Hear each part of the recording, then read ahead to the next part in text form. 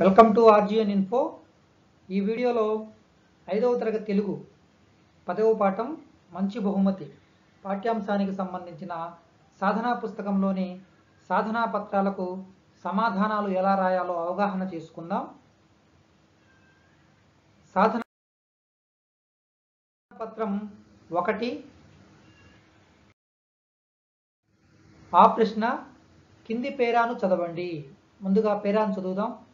ఆ రోజు వియాన్ పుట్టినరోజు వియాన్కు అందరూ పుట్టినరోజు శుభాకాంక్షలు చెప్పారు.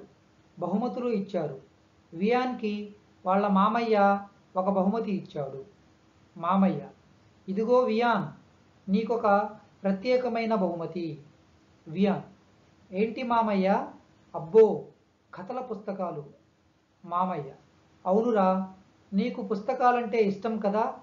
నువ్వు కూడా పుస్తకాలు చదివి గొప్పవాడివి కావాలని వియాన్ పుస్తకాలు చదివితే గొప్పవాళ్ళు ఎలా అవుతారు? మామయ్య పుస్తకాలు చదువుతుంటే చాలా సరదాగా ఉంటుంది. ఇది పేరా? తర్వాత ఆ ప్రశ్న చూడండి. పేరాలో ఆశ్చర్యార్థకం గుర్తున్న పదాలు రాయండి అంటున్నారు. పేరాలో ఆశ్చర్యార్థకం గుర్తున్న పదాలు. ఇదిగో వియాన్. ఇంకా మామయ్య అబ్బో అవునురా కథ ఇంకా తెలుసా? తర్వాత ఈ ప్రశ్న పేరాలో ద్విత్వాక్షర పదాలు రాయండి. పేరాలో ఉన్న ద్విత్వాక్షర పదాలు రాద్దాం. మనం ద్విత్వాక్షర పదాలు అంటే ఇంతకు ముందే చెప్పుకున్నాం. ఇక్కడ చూడండి పుట్టినరోజు అనే పదాన్ని గమనించండి. ఇక్కడ టీకు టా వస్తుంది కదా ఈ విధంగా ఏదైనా ఒక హల్లుకు ఆ హల్లుకు సంబంధించిన అచ్చు చేర్చగా ఏర్పడిన అక్షరాలను మనం ద్విత్వాక్షరాలు అంటామని తెలుసుకున్నాం. అలాంటి ద్విత్వాక్షర పదాలు పేరాలో ఉన్నాయి రాద్దాం. పుట్టినరోజు చెప్పారు ఇచ్చారు మామయ్య అబ్బో నువ్వు.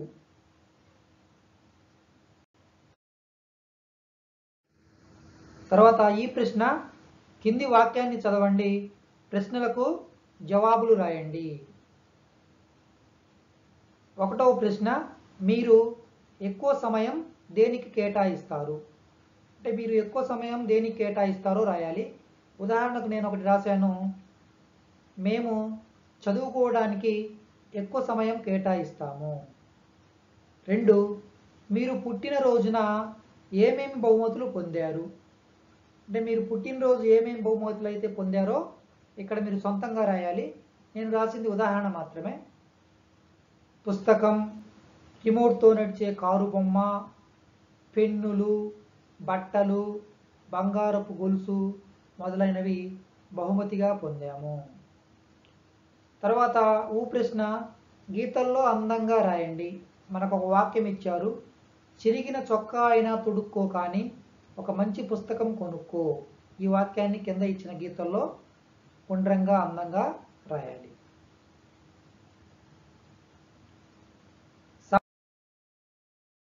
సాధన పత్రం రెండు. ఆ ప్రశ్న కింది పేరాను చదవండి.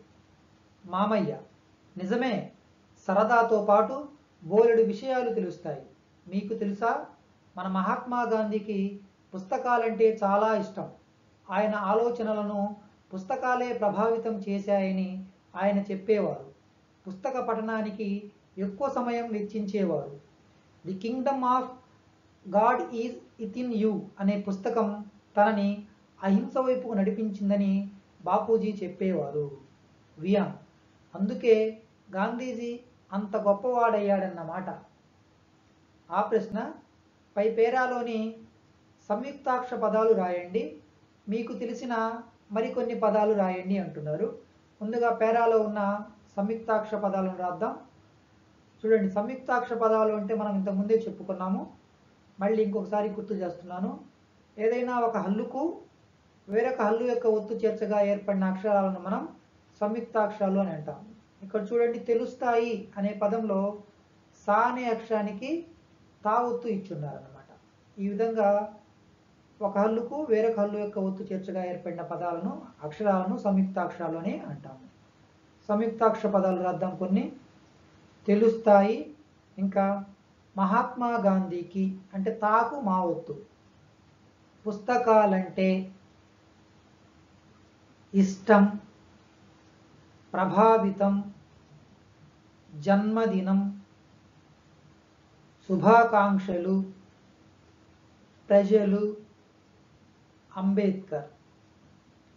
ఈ ప్రశ్న కింది పదాలకు వ్యతిరేక పదాలు రాయండి. వ్యతిరేక పదాలు రాద్దాం. హింస వ్యతిరేక పదం అహింస. ఇష్టం అయిష్టం. ఎక్కువ తక్కువ. తర్వాత ఈ ప్రశ్న పై పేరా ఆధారంగా కింది ప్రశ్నలకు జవాబులు రాయండి. ఇప్పుడు మనం పేరాను చదివాం కదా ఆ పేర ఆధారంగా కింది ప్రశ్నలకు జవాబులు రాద్దాం. ఒకటో ప్రశ్న పై పేర ఎవరి గురించి చెప్తుంది జవాబు పై పేర మహాత్మా గాంధీ గురించి చెబుతుంది. రెండు గాంధీని అహింస వైపు నడిపించిన పుస్తకం ఏది? జవాబు the kingdom of God is within you. తర్వాత ఊ ప్రశ్న గీతల్లో అందంగా రాయండి. పుస్తకం చదివే అలవాటు ఏకాగ్రతను పెంచుతుంది. ఈ వాక్యాన్ని కింద ఇచ్చిన గీతల్లో అందంగా గుండ్రంగా రాయాలి. సాధన పత్రం మూడు. ఆ ప్రశ్న కింది పేరాను చదవండి. పేరాను చదువుదాం. మామయ్య అవును పుస్తక పఠనం అలాంటిదిరా? అంతెందుకు? భగత్ సింగ్ను ఉరి తీసే ముందు ఏమి కోరి కోరాడో తెలుసా? వియా ఏం కోరాడు మామయ్య? మామయ్య తనకిష్టమైన రాజ్యం విప్లవం అనే పుస్తకాన్ని చదవాలన్నాడు. ఉరి తీసే ముందు ఆ పుస్తకాన్ని చదవడానికి కాస్త సమయం ఇవ్వమని అడిగాడు. పుస్తకం పూర్తిగా చదివాక ఉరికమ్మం ఎక్కాడు. పుస్తకాలు చదవడం అంటే అంత పిచ్చి. నాకు ఇవన్నీ తెలియదు మాయ చాలా ఆసక్తిగా ఉంది. మరికొందరి గురించి చెప్పవా? మామయ్య డాక్టర్ బిఆర్ అంబేద్కర్ తెలుసు కదా నీకు? ఆయన రోజు రాత్రి రెండు గంటల వరకు పుస్తకాలు చదివేవారు. ఆయన సొంత గ్రంథాలయంలో యాభై రెండు వేల పుస్తకాలు ఉండేవి. ఇది పేరా? తర్వాత ఒక ప్రశ్న ఇచ్చారు చూడండి. పై పేరాలోని ఐదక్షరాల పదాలు రాయండి. పేరాలో ఉన్న ఐదు అక్షరాల పదాలు రాద్దాం. అలాంటిదిరా తెలుసు కదా చదివేవారు.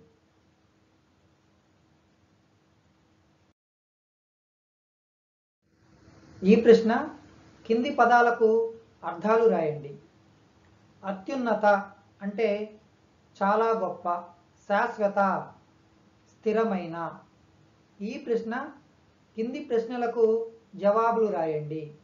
ఒకటో ప్రశ్న పై పేరాలు ఎవరి గురించి చెబుతున్నాయి? జవాబు పై పేర Bhagat Singh doctor B R Ambedkar గురించి చెబుతున్నాయి. రెండు భగత్ సింగ్ చదవాలనుకున్న పుస్తకం ఏది? జవాబు భగత్ సింగ్ చదవాలనుకున్న పుస్తకం రాజ్యం విప్లవం.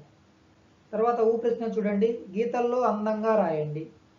ప్రపంచవ్యాప్తంగా ఏప్రిల్ ఇరవై మూడున పుస్తక దినోత్సవం నిర్వహిస్తారు. ఈ వాక్యాన్ని కింద ఇచ్చిన గీతల్లో మనం గుండ్రంగా అందంగా రాయాలి.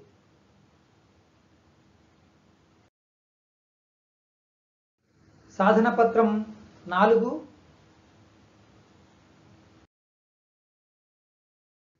ఆ ప్రశ్న కింది వాక్యాలను చదవండి. ఎవరికి సంబంధించినవో వారి పేర్లు పక్కన రాయండి. ఇక్కడ మనకు ఐదు వాక్యాలు ఇచ్చారు కదా. ఈ వాక్యాలు ఎవరికి సంబంధించినవో పక్కనే మనం రాయాలి. ఒకటో వాక్యం తనకిష్టమైన రాజ్యం విప్లవం అనే పుస్తకం చదవాలనుకున్నాడు. ఈ వాక్యం భగత్ సింగ్కు సంబంధించినది. రెండు ఆయన సొంత గ్రంథాలయంలో యాభై రెండు వేల పుస్తకాలు ఉండేవి. ఈ వాక్యం డాక్టర్ బిఆర్ అంబేద్కర్కు సంబంధించినది. మూడు పుస్తకాలే నా ఆలోచనలను ప్రభావితం చేశాయి. ఈ వాక్యం మహాత్మా గాంధీకి సంబంధించినది. నాలుగు నేను అత్యున్నత స్థాయికి చేరడానికి పుస్తకమే కారణం. ఈ వాక్యం డాక్టర్ అబ్దుల్ కలాం గారికి సంబంధించినది. ఐదు సరోవర రాణి అనే పుస్తకం రాసింది. సరోజిని నాయుడు.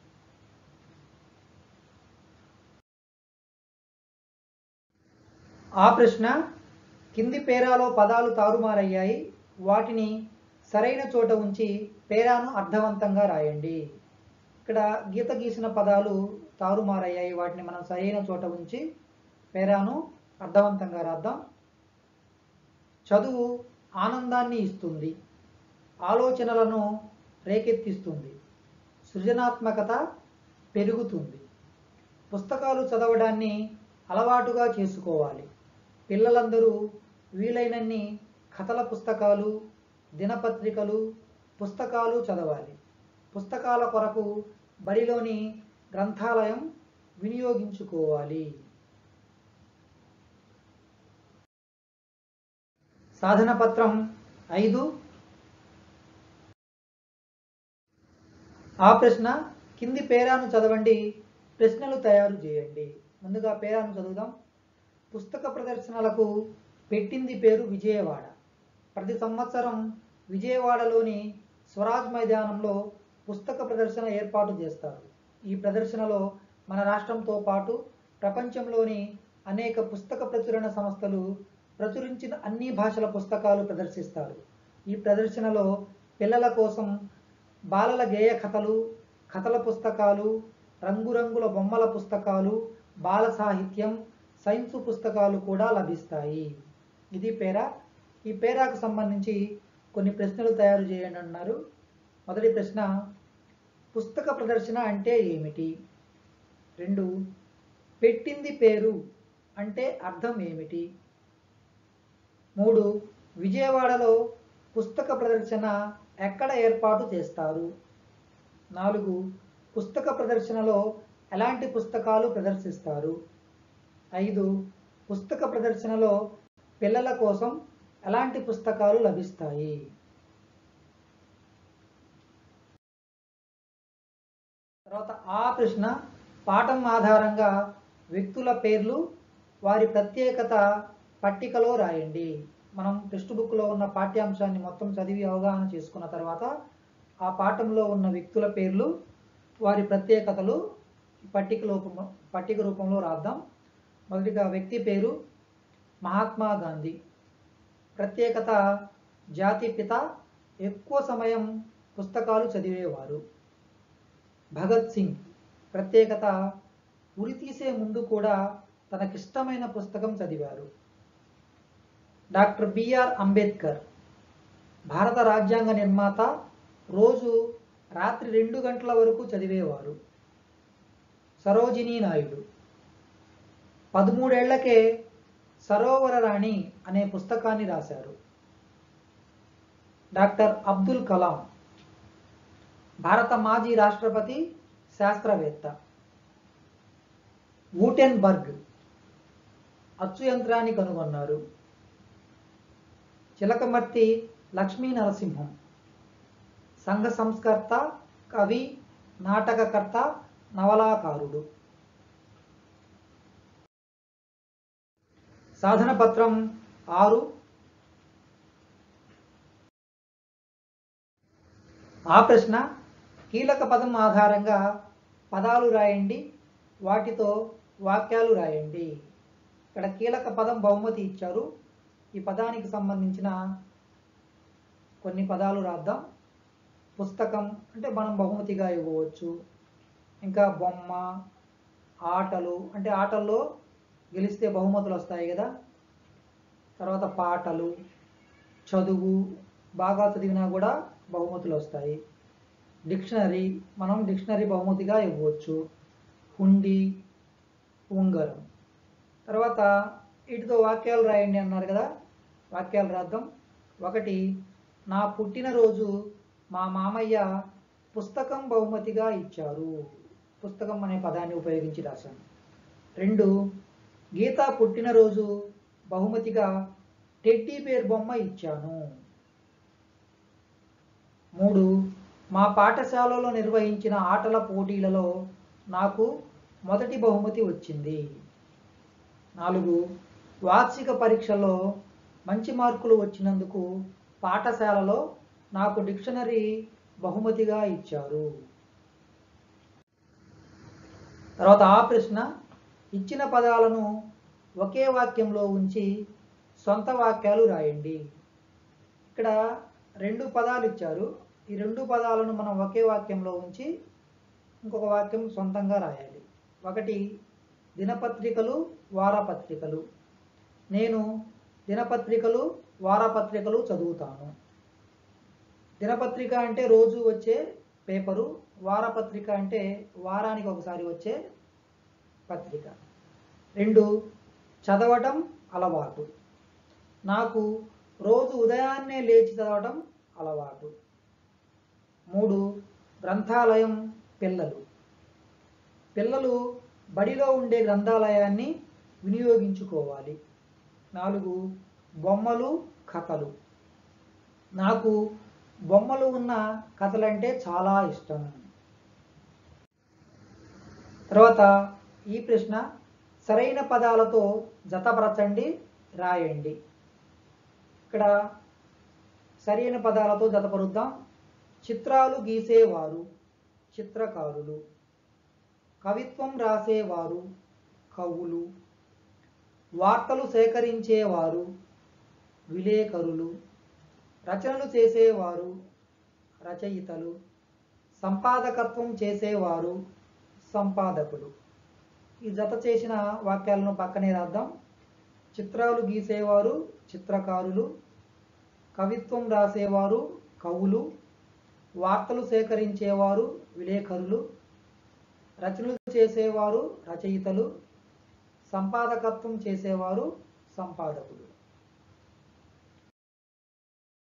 సాధన పత్రం ఏడు. ఆ ప్రశ్న మంచి పదం కలిపి పదాలు రాయండి వాటితో సొంత వాక్యాలు రాయండి. అంటే మంచి అనే పదాన్ని ఉపయోగించి పదం రాయాలి దాన్ని ఉపయోగించి సొంత వాక్యాన్ని రాయాలి. ఉదాహరణకు చూడండి మంచి కథ. నేను మంచి కథ చదివాను. తర్వాత మంచి పనులు. మనం ఎప్పుడూ మంచి పనులే చేయాలి. మంచి వాసన. మల్లెపూలు మంచి వాసన ఇస్తాయి. మంచి మాటలు. తాతయ్య నాకు ఎన్నో మంచి మాటలు చెబుతుంటారు. మంచి మనసు. మా టీచర్ ఎంతో మంచి మనసు గలవారు. మంచి స్నేహితులు. రాజు రవి మంచి స్నేహితులు. మంచి భోజనం. మా పాఠశాలలో మధ్యాహ్నం మంచి భోజనం పెడతారు. ఆ ప్రశ్న కింది అనుకరణ పదాలను సరైన చోట రాయండి. ఇక్కడ మనకు కొన్ని అనుకరణ పదాలు ఇచ్చారు. కువ కువ కణకణ చరచర బిరబిర చిటపట భగభగ పకపక పటపట గణగణ గబగబ గలగల చురచర. ఈ పదాలను మనం ఇక్కడ సరైన చోట రాద్దాం. గంటలు. గణగణ గంటలు.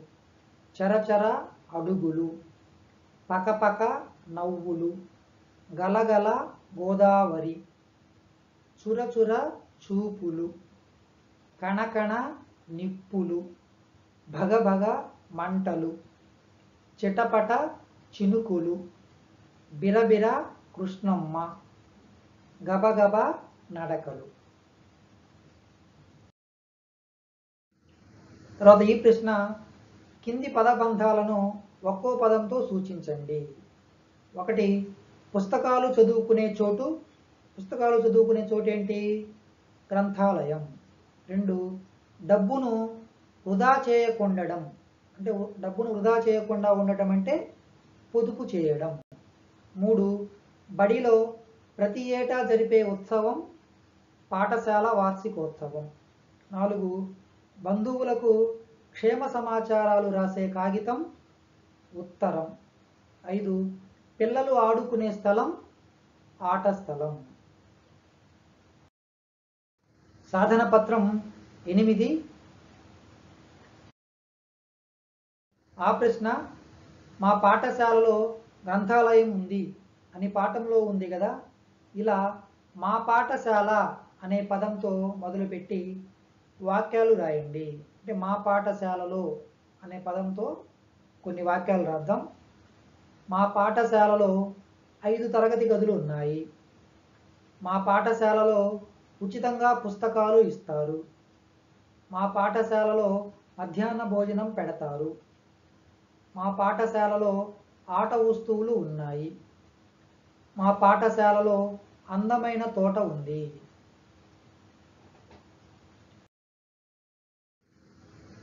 తర్వాత ఆ ప్రశ్న కింది పదాలతో పుస్తకాలకు సంబంధించిన వాక్యాలు రాయండి. ఇక్కడ కొన్ని పదాలు ఇచ్చారు చూడండి. పుస్తకాలు విజ్ఞానం అనేక విషయాలు జ్ఞానం కథల పుస్తకం బాగుంది కథ ఆసక్తి గేయాలు మహనీయుల చరిత్ర. ఈ పదాలను ఉపయోగించి కింద వాక్యాలను రాయమంటున్నారు. మొదటి వాక్యం పుస్తకాలు చదవడం ద్వారా అనేక విషయాలు తెలుస్తాయి. కథల పుస్తకాలు వినోదంతో పాటు విజ్ఞానాన్ని కూడా అందిస్తాయి.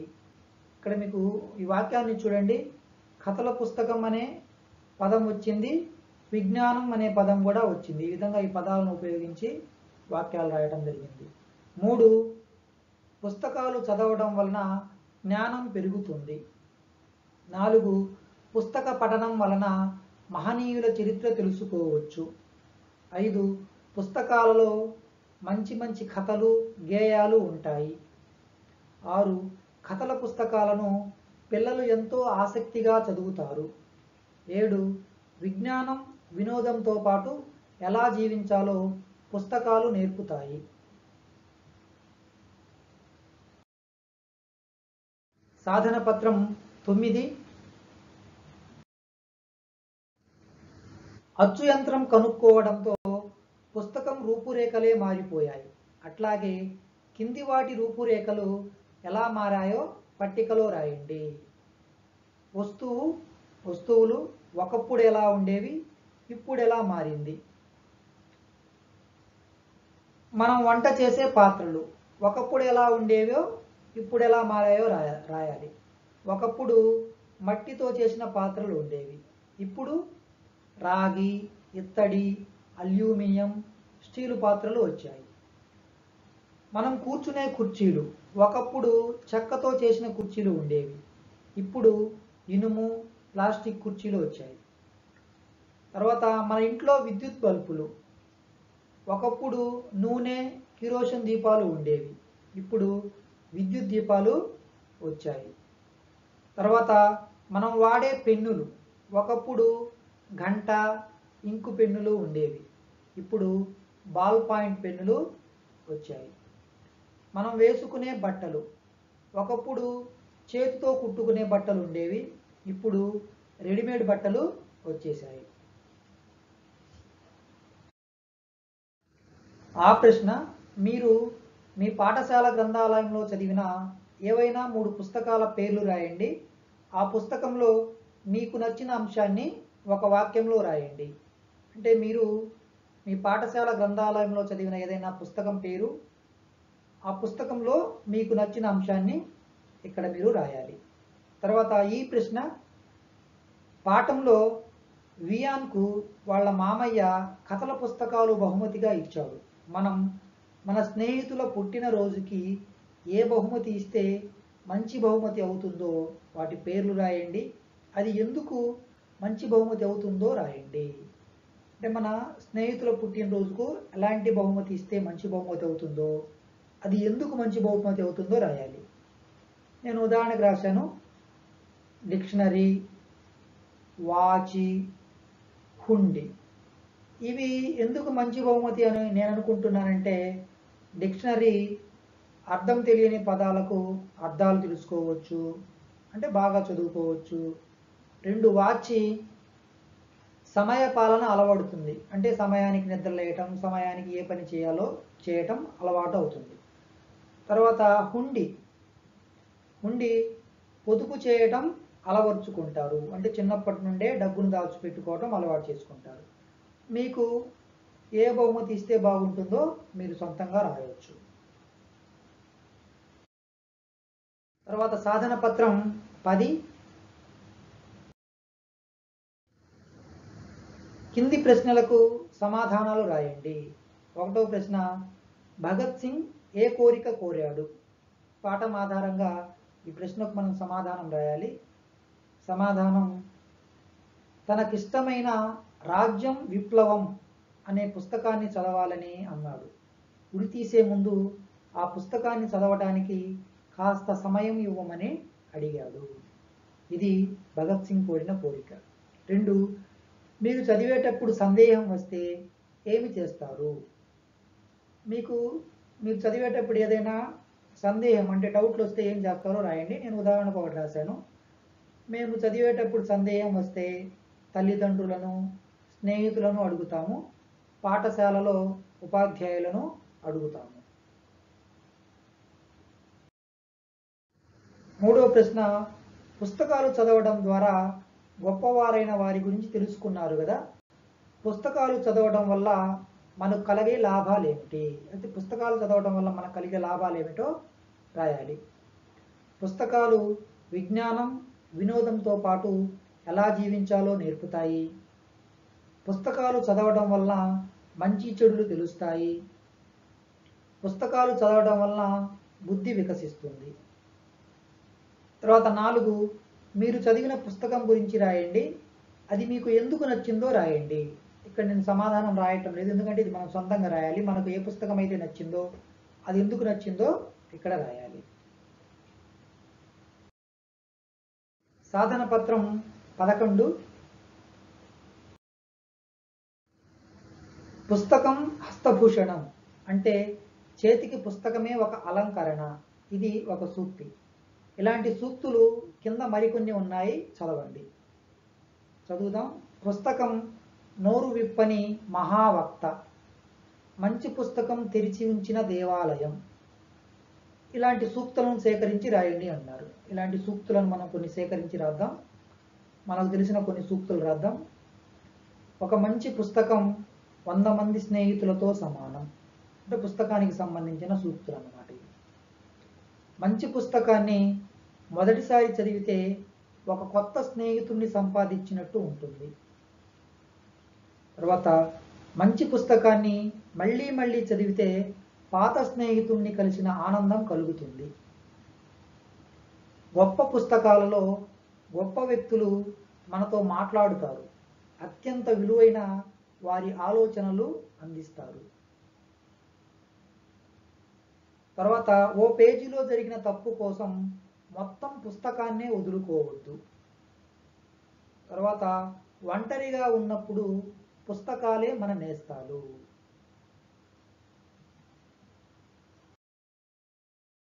ఆ ప్రశ్న పుస్తకం పలక మాట్లాడుకుంటే ఏం మాట్లాడుకుంటాయో రాయండి అంటున్నారు. అంటే పుస్తకము పలక రెండు కలిసినప్పుడు ఏం మాట్లాడుకుంటాయో మనం ఊహించి రాయాలి. మీరు ఎలా మాట్లాడుకుంటున్నారో ఊహించి సొంతంగా రాయండి. నేను ఉదాహరణకు రాస్తున్నాను. పుస్తకం ఇలా ఉంటుంది. పలకనేస్తామా? ఏమిటి ఖాళీగా కూర్చొని ఆలోచిస్తున్నావు? అప్పుడు పలక అంటుంది ఏం లేదు మిత్రమా పిల్లలకు ఇప్పుడు నేను అంతగా గుర్తుకు రావటం లేదు. అప్పుడు పుస్తకం ఏమైంది? పిల్లలు నన్ను ఎందుకు సరిగా పట్టించుకోవడం లేదు? అప్పుడు పలకంటుంది మాయదారి కరోనా వలన పాఠశాలలు జరగడం లేదు కదా? అందుకు.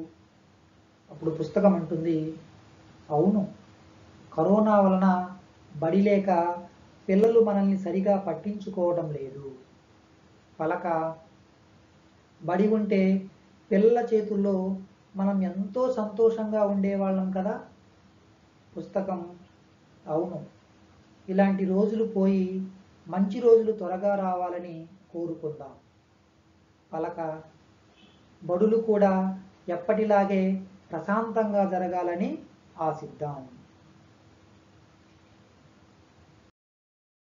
సాధన పత్రం పన్నెండు.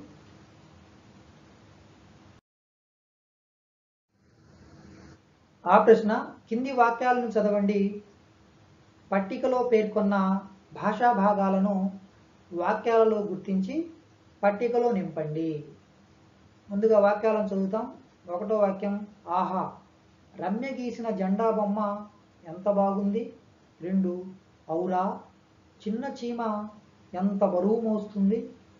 మూడు అరే వెంకట్ బురదలో నడుస్తున్నాడు ఎందుకు? మూడు భళ కార్తీక్ చక్కగా పాట పాడాడు. ఐదు అమ్మో ఆ పులి ఇటువైపే వస్తున్నది. ఆరు అయ్యయ్యో నేను పుస్తకం తేవడం మర్చిపోయానే. ఏడు అబ్బా నేను పిలిచినా నువ్వు రావటం లేదెందుకు? ఎనిమిది ఓహో కమలా నిన్న విజయవాడ వెళ్ళిందా? తొమ్మిది ఆహా అమ్మ ఈరోజు పులిహోర చేసింది. పది అయ్యో గోపి వాళ్ళ నాన్నగారికి దెబ్బ తగిలిందా? ఇవి వాక్యాలు ఈ వాక్యాలలో ఉన్న నామవాచకము సర్వనామము క్రియ అవ్యయ పదాలను రాయాలి. మనకు నామవాచకం అంటే తెలుసు పేర్లను తెలియజేసే పదాలు. సర్వనామము అంటే నామవాచకానికి బదులుగా వాడే పదాలు. క్రియ అంటే పనులను తెలియజేసే పదాలు. అవ్యయం అంటే విభక్తి లింగము వచనము లేని పదాలు. వాహ ఔరా అరే భళ ఇలాంటి పదాలు అన్నమాట ముందుగా నామవాచక పదాలు రాద్దాం. రమ్య వెంకట్ కార్తీక్ కమల గోపి. తర్వాత సర్వనామానికి సంబంధించిన పదాలు అంటే ఇందులోవే రాయాలి. ఆ నేను నువ్వు ఈ వాళ్ళు. తర్వాత క్రియాపదాలు నడుస్తున్నాడు పాడాడు వస్తున్నది వెళ్ళడం చేయడం. తర్వాత అవ్యయం ఆహా ఔరా అరే భళా అమ్మో.